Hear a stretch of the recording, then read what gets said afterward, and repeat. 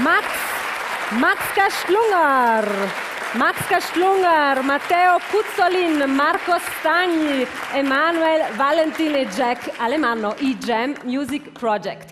Ju kar je tira kapurmec si dui komponanč badioč de kaš grup, Max e Emanuel. Max, eh, de te kongšung la gran ligraza da köja dymstrumanč da dytel mon. Io dungin skilo, eh, dantar questa tua gran raccogliuta, i tappi, i tappi è una tua invenzione. Non so da ti c'è per essere gran ciuc, cruia che lo da l'erc, sono una paladina, ma da ci stratra per visa testo l'inventur.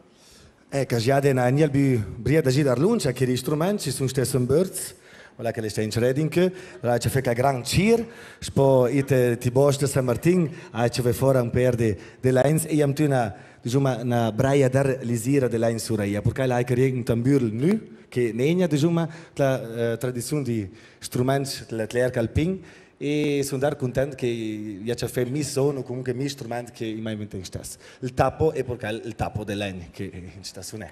Bella vai questa caratteristica eh, naturale in la musica. Emanuel, tet conosciungs nie ma schuk musicist, mo schuk antropolog. Che lo dic tot das je cul stude di uh, popu e delle culturas. Os eis un paladina tres in do struments che ricorda le culturas di popui. Secondo te, tan respidlaia pa un material d'un strument, un son d'un strument, la cultura d'un popolo. Esta é uma demanda que tinha dar saurida da, da resposta, responhemos eh, de seguir se pode por nós, hein? pode dizer que nós um peu la paixão por eh, le lã e le metal. E nós que mituns ou descendentes podemos descender de, de feios, ele seguiu um material dar importante por nós, inche, e também vinha instrumento ainda um peu na, na sua característica, na sua melodia laite, porque nós todos de seguir um resultado de de quis de, de quis material inche.